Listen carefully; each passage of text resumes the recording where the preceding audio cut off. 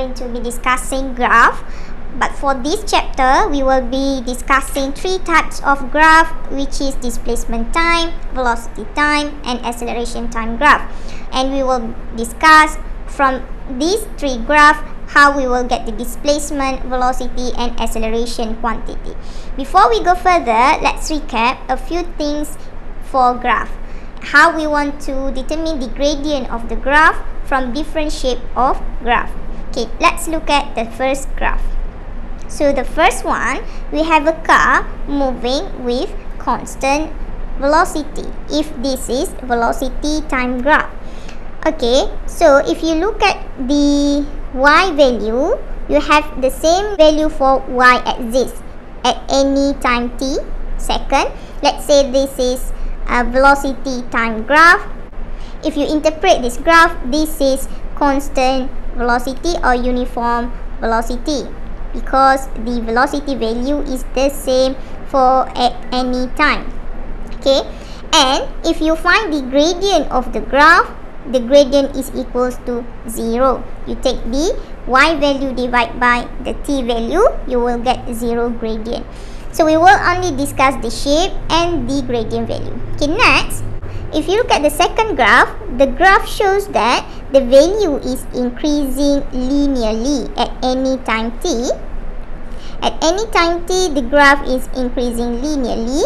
How about the gradient value? If you have this shape of graph increase linearly, so the gradient will be constant. What does it mean? It means that if I find the gradient for the first part, for the second part and for the third part, they will get the same gradient. So, we can say that gradient for this shape of graph is uniform. So, the, the increasing linearly shaped graph will produce uniform positive gradient value.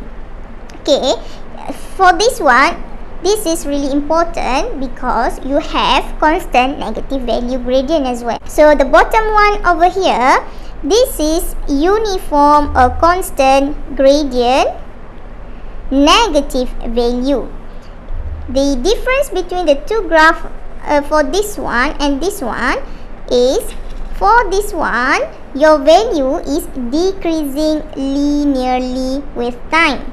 So, if you find the value of gradient over here for one or two or third part, you will get the same gradient value but you will get negative gradient value. Let's say I have velocity time graph for this one. So you can say that the velocity of the car is decreasing linearly and the gradient of this graph will produce constant gradient value but negative value. Okay, so let's go to the next shape of graph. So for this graph, you can say that this is not increasing linearly graph. It increase by time like this. It's a bit curvy from before. So let's say I have this graph maybe velocity time graph. So I can say that my velocity is increasing by time. So what uh, what ha what happens to the gradient if you look at the gradient value the gradient is not the same for the first, second and third part. But we know that this part have lower gradient than this part.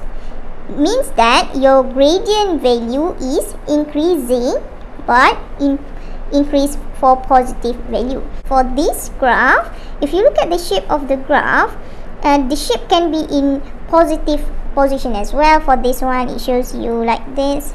For this one it shows you from the origin goes downwards. It also can be like this okay? So if you look at the gradient value for this graph the gradient keeps on increasing but the the direction is different. For this one it increase like this but this one it increasing downwards like that. So we can say that the gradient is increasing but will produce negative value. Okay so let's let's look at this one. So this one the shape is like this.